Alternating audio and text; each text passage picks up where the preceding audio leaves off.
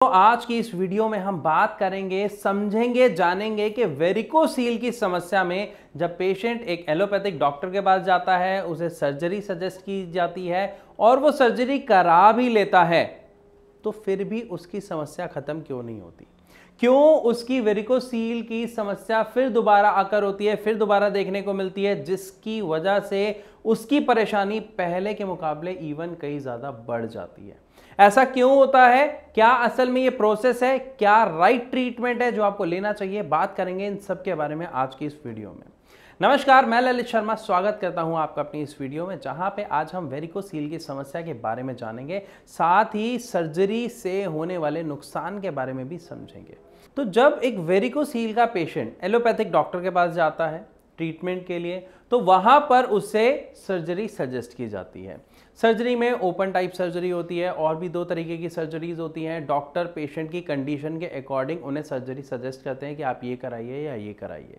लेकिन उस सर्जरी में एक सबसे बड़ी बात जो डॉक्टर साफ़ साफ़ कहते हैं कि there is no guarantee of anything कि आपको सर्जरी कराने के बाद भी ये प्रॉब्लम दोबारा नहीं आएगी या ख़त्म हो जाएगी, इस बात की कोई गारंटी नहीं है। अब आप यहाँ पे खुद सोचिए कि अगर आप सर्जरी भी करा रहे हैं बॉडी में चीरा फाड़ी भी हो रही है, आप दर्द भी झेल रहे हैं, दवाई भी खा रहे हैं, लेकिन उसके बाद भी अगर आपको आराम ना मिले तो क्या आप वो काम कराएँगे? आंसर आपको मिल गया, बिल्कुल नहीं राइट और यही वजह है कि Ayurvedic doctors, homeopathic doctors specially कहते हैं या आप ये कहें कि एडवाइस करते हैं कि बिल्कुल लास्ट स्टेज अगर आपके पास कुछ नहीं बची तो आप सर्जरी करा लीजिए, कोई दिक्कत नहीं है। लेकिन एटलीस्ट एक बार सबसे पहले अपने आप को, अपनी बॉडी को, अपनी उस समस्या के लिए आयुर्वेदिक या होम्योपैथिक दे के उसका ट्रीटमेंट लेके एक बार कोशिश करिए।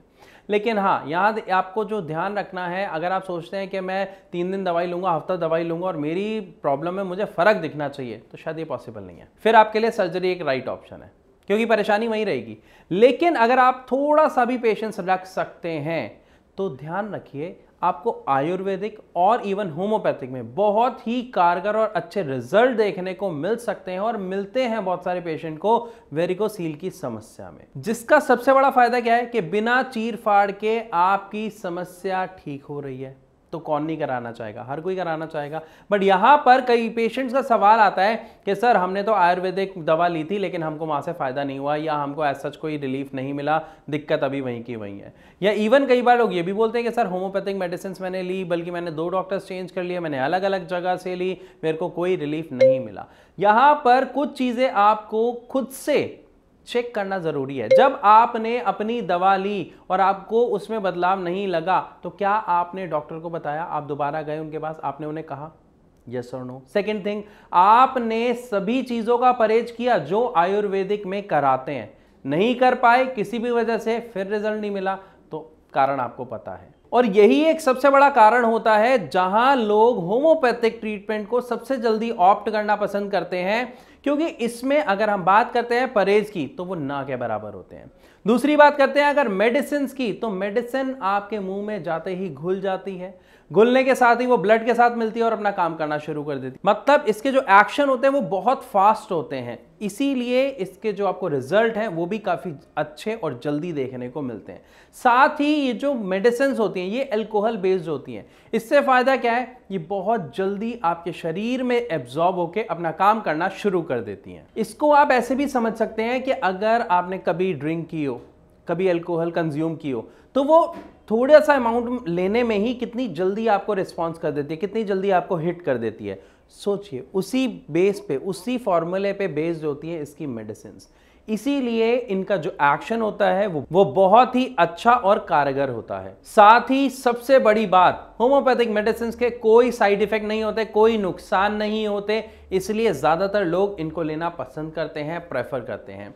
क्योंकि जब पेशेंट हमारे यहाँ आते हैं तो ऑलरेडी बहुत थके हुए होते हैं, बहुत हार चुके होते हैं कि, सर, हमने ये दवाई ली, ये परहेज किया, उससे मेरे को ये दिक्कत आ जाती है, वो दिक्कत आ जाती है।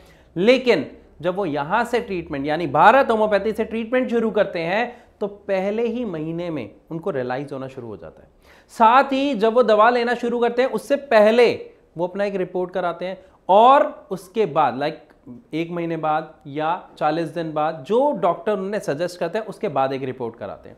आपको रिपोर्ट में विजिबल चेंज दिखते हैं देन गुड नहीं दिखते तो मैंने आपको बताया लास्ट ऑप्शन सर्जरी है, लेकिन ऐसा होता नहीं है। लेकिन सर्जरी के केस में अगर हम बात करें तो ऑलमोस्ट 70 परसेंट लोगों के साथ वही प्रॉब्लम दोबारा होने के चांसेस होते हैं। और हो सकता है, अभी तक आपको ये सारी बातें शायद ना पता हो। आप इससे अनजान हो।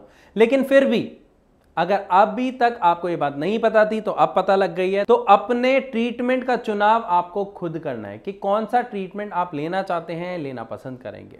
किसी भी तरीके के डाउट के लिए आप भारत होम्योपैथी की टीम से नीचे दिए गए नंबर पर कॉल करके संपर्क कर सकते हैं, अपने डाउट्स पूछ सकते हैं, अपनी समस्या के बारे में डिस्कस कर सकते हैं। फिर भी अगर और कोई सवाल रह गया हो जो आप हमसे पूछना चाहते हो या जिसका जवाब आप चाहते हैं कि मैं इस वीडियो में ऐड करूँ तो आप कमेंट सेक्शन में भी लिख के हमसे पूछ सकते हैं।